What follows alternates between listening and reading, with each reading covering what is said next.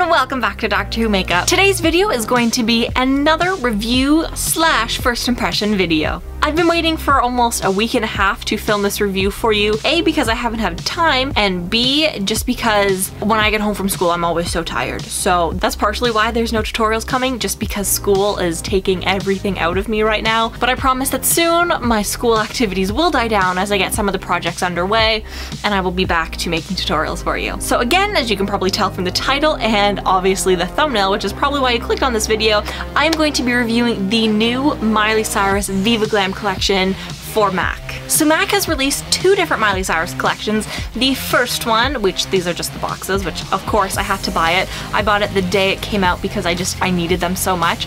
And then this past, I think it was September, they released the second round, which is these boxes right here. The boxes are pretty much the same. The first one is on top, the second one is on the bottom. The only difference between the two is in the lipsticks. The first one is an amplified cream lipstick and the second one is a matte lipstick. Now if you tend to like expensive lipsticks. I personally do not have that preference. I like all drugstore lipsticks. Then you probably know the difference between these two. I myself being a MAC newbie other than owning a few of their eyeshadows and now both sets of the Miley Cyrus lipstick lip gloss collections, I don't really know what the difference is. One is obviously matte and one is obviously shiny. The pink one, which is the first one, is really shiny and it really stains my lips when I wear it. So I try not to wear it as often just because I don't want to be wearing the same color for three days in a row. I have not swatched the lipstick from the second collection, but I have used the lip gloss just because I figured it was such a pretty color and I really wanted to try it on.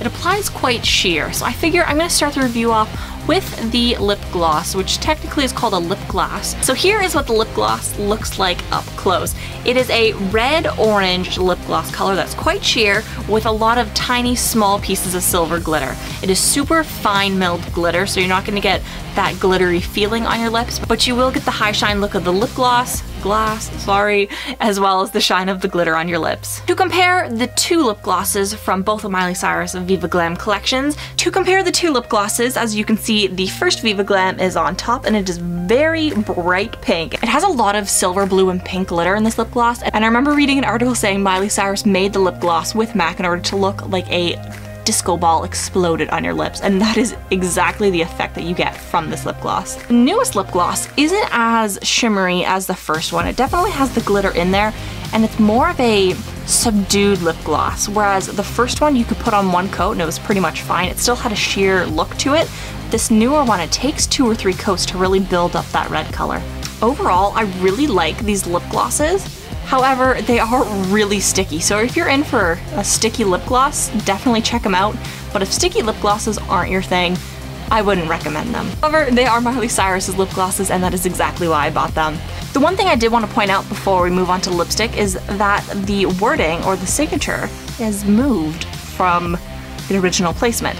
So you can see the red heart on the pink lip gloss is kind of covering up the two S's in the word glass, and on the new one, it is way up above where the C was. And now it is on to the lipstick. This is one of the ones that I really wanted from the set because it is my favorite type of red. It is a red lipstick with an orange undertone. Let's look at this baby. So as you can see, it's in its normal packaging. It looks like a black bullet with the red rim and the red MAC letters. So as you can see, it has Miley Cyrus's signature, the same that is on the lip glosses as well as all of the packaging. This is what it looks like. Ta-da!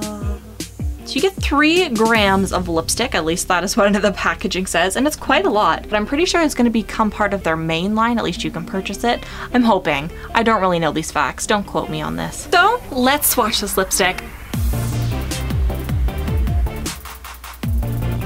So now as you've all probably been waiting to see, I'm to be swatching both the lipstick and the lip gloss, the newest ones of course, on my lips and pairing them together to see what they look like. I have not worn the lipstick on my lips yet, so let's do it for the first time together.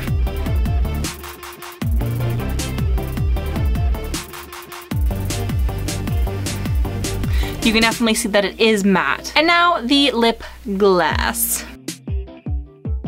And there we go, taking away all that mattification that came with the lipstick by reapplying all of the shininess with the lip gloss. So here we have the original Miley Cyrus Viva Glam lipstick. It is a bright Barbie pink. It, it's super bright, even more Barbie pink than the lip gloss. And that is it for today's video. I hope you enjoyed this review and first impression. I'm not sure if they're available in the stores for that long, so go pick it up while you can and support the Viva Glam campaign, which raises money for HIV and AIDS funding. I think all the proceeds from these lip glosses and lipsticks go to AIDS and HIV funding, which is amazing. So definitely worth it. Thank you for watching and I will see you. Hopefully my next video will be a tutorial. I will get that up as soon as I can. So stay tuned for that. Thank you and I will see you then. Bye. I'm just the worst at swatches. I'm so sorry.